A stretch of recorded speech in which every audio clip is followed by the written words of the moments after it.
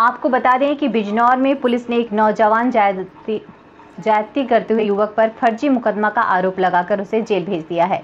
पीड़ित युवक जमानत पर बाहर आया तो बिजनौर में एसपी नीरज कुमार जादौन से लिखित में शिकायत कर निष्पक्ष जाँच कराने की मांग की। पीड़ित का आरोप है कि पुलिस ने उसे रास्ते में जाते वक्त उठा लिया और पूरी रात्रि थर्ड डिग्री टॉर्चर करके जबरन जुर्म कबूल करने पर मजबूर किया है। फ़िलहाल इस मामले से पीड़ित युवक ने बिजनौर एसपी से निष्पक्ष जाँच कराने की मांग की है।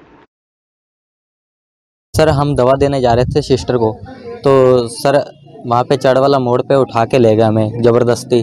तो सर हमने कहा, क्यों लेके जा रहे हो? सर, वो माने ही नहीं, कहने लगे, थाने में बता देंगे। सर, जब वहाँ पे जाके ना, सर, हमें इतना पिटा इतना पिटा, सर, लगभग दो, ढाई घंटे सर पीटते ही रहे। और कहने लगे कि ये बोलो कि आपकी भट्टी या आपकी दारू है। हमने कहा सर हमारी है ही नहीं हम ऐसा काम ही नहीं करते पढ़ने लिखने वाले बच्चे हैं। सर उन्हें बताया भी था कि हमने इंटर किया है। तो सर वो कहने लगे कि ऐसे तो बच्चे हमें चाहिए जो पढ़े लिखे हों। तो सर उन्होंने मार मार के सर ज़बरदस्ती झूठे बयान ले लिए अपने फ़ोन में और सर ज़बरदस्ती झूठा मुकदमा लगा दिया। सर हमें इंसाफ मिलना चाहिए सर।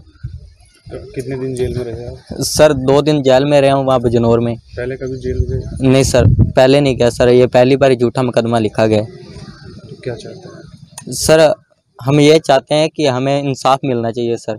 और हमारी घटना ये हुई थी हमारे बच्चे दवा लेके गए थे सिस्टर को देने के लिए। तो वहाँ बच्चे को दवा दे के लौट के आ रहे थे वहाँ से पुलिस वाले खड़े थे रास्ते में और वहाँ से उठा के लेके थाने ले गए। और हमें कुछ जाँच किसी तरह का उन्होंने बताया ही नहीं।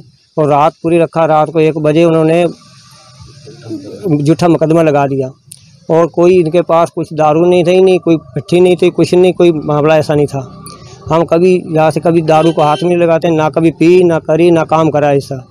नजायज उन्होंने जाकर बच्चों को ले जाकर वहाँ से थाने में मुकदमा दर्ज कर दिया।